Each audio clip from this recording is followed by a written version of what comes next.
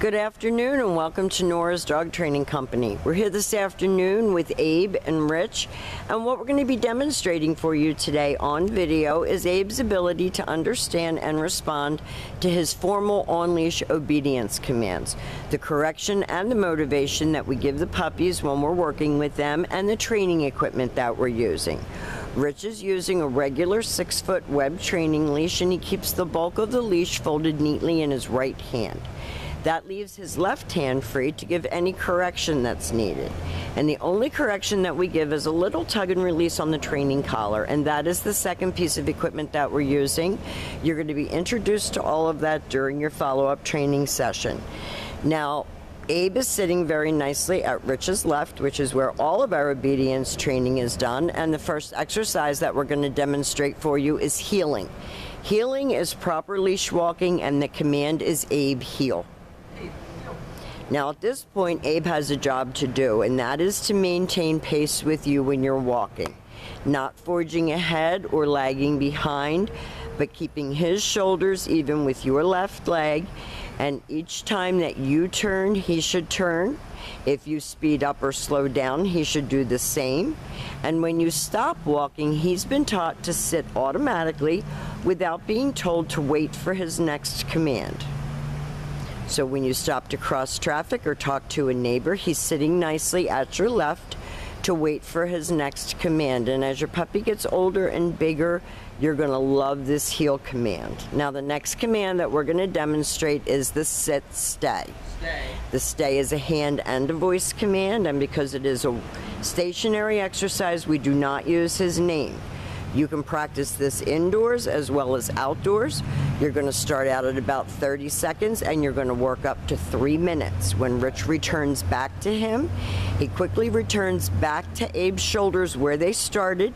He stops right there and then Abe expects to get another command. And they take off heeling again. And you can tell that he enjoys doing his work. His tail is up and wagging. He's happy.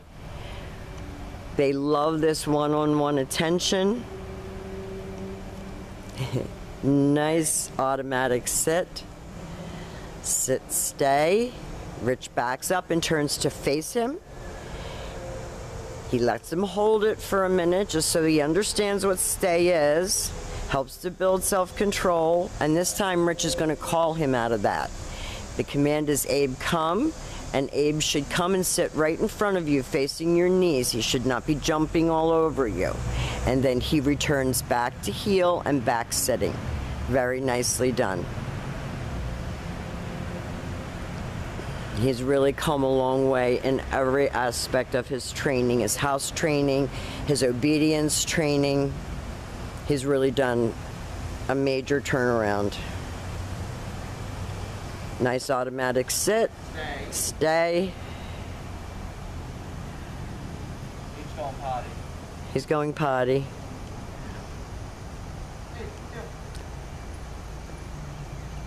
Rich heels him out of that.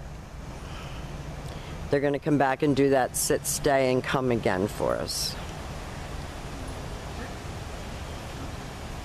Stay. He backs up. He's going to use his name and a happy voice and call him right in. Well, I guess we proved that he goes potty outside, which was one of his problems when he first came.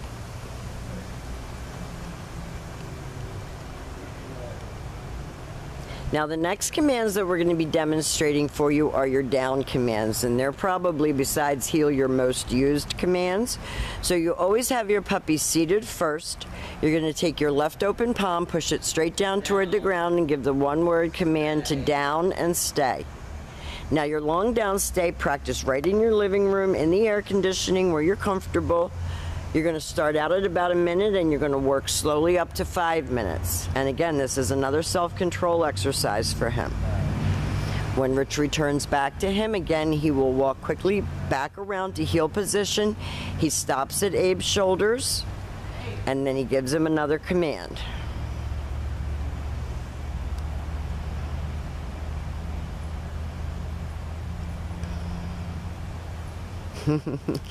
He's such a puppy right now. He's such a teenager. Always have him seated first. Stay. Down and stay. Stay. And you can repeat your stay command. And if you see him start to get antsy or start to move, you can say stay again or no stay. This time, Rich will call him out of that. Have him sit right in front and go back to heel. Back sitting. Good job, bud.